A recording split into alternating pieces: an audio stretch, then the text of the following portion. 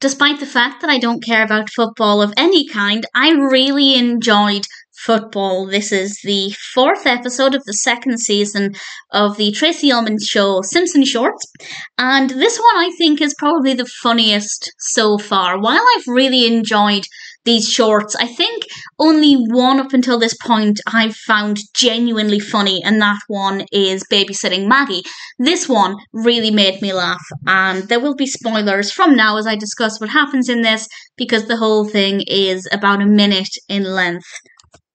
I'll go through what happens now and talk about some highlights. And the way it starts is absolutely fantastic because we have Bart, Lisa, and Homer in the garden. Maggie is also there, and I like the I like the setting for that. I think it worked very well, and it's very beautifully animated. And then Homer says if Bart catches the football, they can all go out for chocolate milkshakes. And over the episode, Bart is running after the ball. And I love that Homer and Lisa are both kind of shouting encouragement at him, but mostly shouting at him to watch out for various obstacles, some of which he crashes into, some of which has a very kind of video game style leaping over objects, and I rather enjoyed that a lot. I thought it worked really well.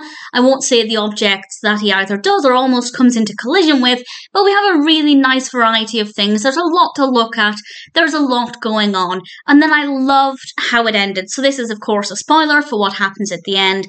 And Bart does manage to catch the football in his mouth. And the way that's animated is fantastic.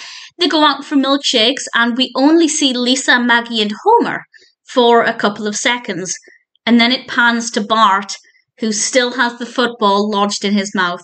And I thought it was brilliant, and I really rather enjoyed it, and I had a lot of fun with it. It's also nice to see Homer taking the kids out on his own without Marge. There's just something nice about Homer in that fatherly, loving role. Uh, I, I enjoyed it a lot. Football is I think, as I said, one of the funniest uh, that I certainly enjoyed the most, and it's very varied, beautifully animated. There's a lot to look at, and absolutely a personal highlight. And that's coming from somebody who does not care about football or most sports in general. So to me, that's a sign that it's a really great short if you're a Simpsons fan, football is definitely worth watching.